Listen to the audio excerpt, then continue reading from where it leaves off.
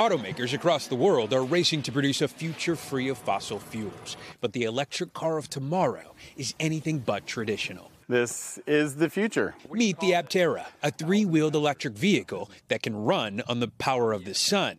Is this the first solar produced vehicle for market? It should be the first mass produced solar electric car, yeah.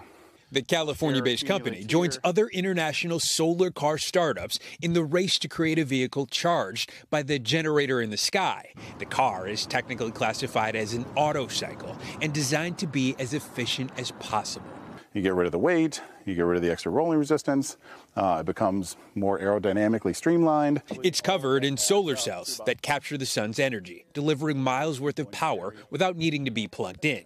The company is hoping to start production next year at a price point below $40,000. We have 44,000 orders for this. We're not even in production.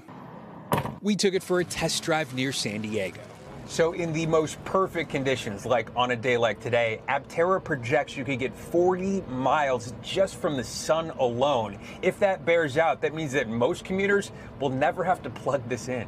Our test model had some obvious flaws, and it could barely make it uphill without overheating. Yeah, we're slowing it down again. I think you're the first person to ever drive this on a hill. While there are limitations, experts envision solar EV could change the way we think about transportation, putting less stress on the power grid and utilizing free energy. You don't have to pay the billions and billions of dollars of grid enhancements you would need to charge all those electric vehicles. A dream of a gasless world, betting big on the power of the sun. Steve Patterson, NBC News. Thanks for watching our YouTube channel. Follow today's top stories and breaking news by downloading the NBC News app.